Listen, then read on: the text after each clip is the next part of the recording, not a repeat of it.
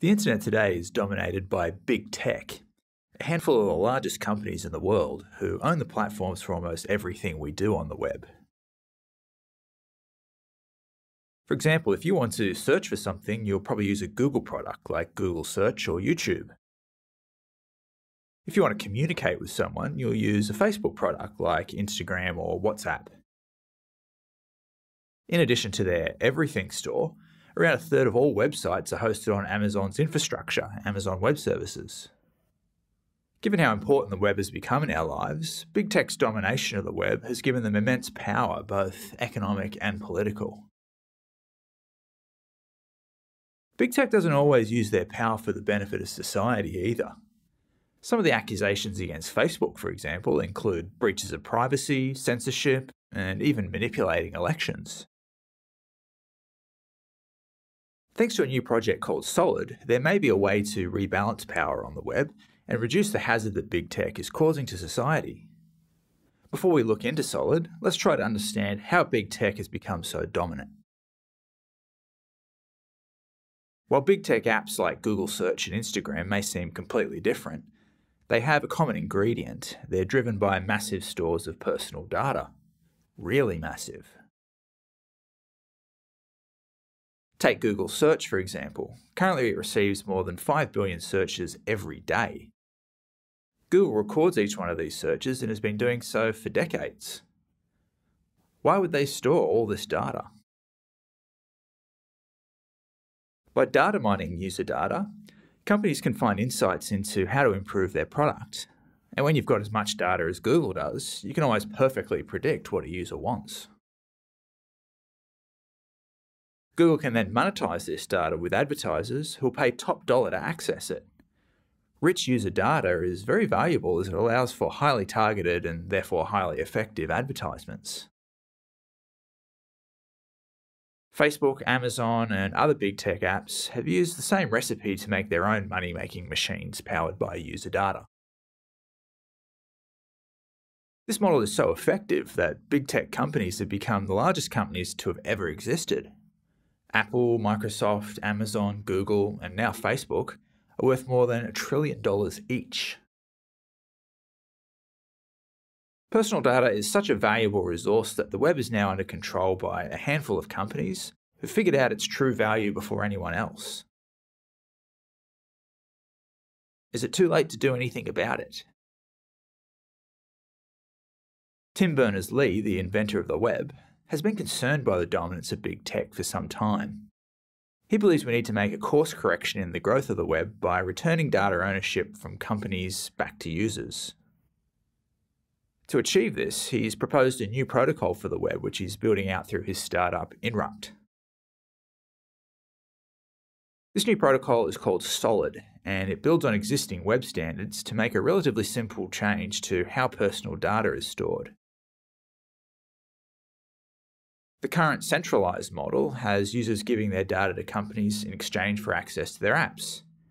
Companies then silo this data in private databases to be used at their discretion.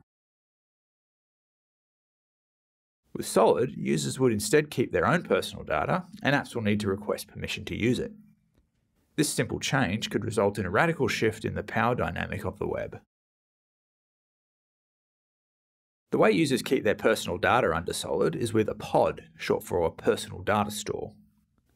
A pod can contain almost any kind of personal data, from your shoe size to your search queries. Let's imagine that Facebook supported Solid, when you visited Facebook, you'd log in with your pod. Anything that Facebook wanted to know or record about you will be done through your pod, so Facebook wouldn't need to hold their own data about you. Inrupt already has an experimental version of Solid, so let's give it a try to see a real world example. The first thing we'll do is create a pod with Inrupt. Keep in mind though that under the Solid protocol, Pods can be hosted by any company or even self-hosted, so Inrupt won't have any special control over pods. Once we create a pod, we get a web ID. This is a unique identifier that you can use to point websites to your pod. It looks just like a normal URL. Inrupt offers a dashboard allowing you to inspect what's in your pod. As you can see, a pod is basically just a folder that can be read or written to. There are a few default subfolders in our newly created pod, but it's otherwise empty. Currently, Solid is not ready for use in production, but there are various demo apps that you can try like this one, called Media Kraken, which allows you to keep track of your favourite movies. Since Media supports Solid, we can log in by providing our web ID. The app will then connect with our pod and we're asked to approve the data it's requesting, ensuring proper security and transparency. Media will now access our pod and look for our favourite movies to display. Since we have a brand new pod, we won't have this data, so Media can write some random movies to our pod to kickstart our collection. If we go back and look at our pod through the INRUPT dashboard, you'll see we now have data under the Movies folder. Pods use an interoperable data schema, ensuring that any other app can now request and use this same data. If another movie app like Netflix also supported Solid, we could give it permission to access the same data that MediaKraken has access to. Returning to MediaKraken, we can now see a display of our favourite movies that it's now drawing from our pod. What about a hmm. more complex app? Here's an example of how a decentralised social network could be built on Solid. A social media feed could be created by sourcing data from multiple pods, including your own, those of your friends, and even pods owned by media publications and other organisations. In addition to rebalancing power on the web, Solid has a number of great benefits for users and for companies whose apps support Solid. By decentralising user data, no single company will have the advantage of exclusive access to that data. This will level the playing field, allowing more competition and potentially better products that would otherwise be crushed by big tech monopolies. Every time we join a new service, we spend time populating it with our personal data. This results in constant repetition of things like our email and home address. Solid will provide a better user experience on the web by allowing the same data to be used over multiple apps.